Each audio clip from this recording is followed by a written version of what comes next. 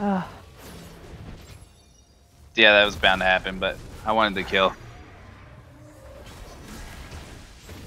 Uh, cause I want to buy this.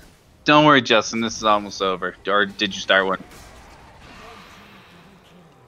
Oh, can I help you? Do I need to say any magic words?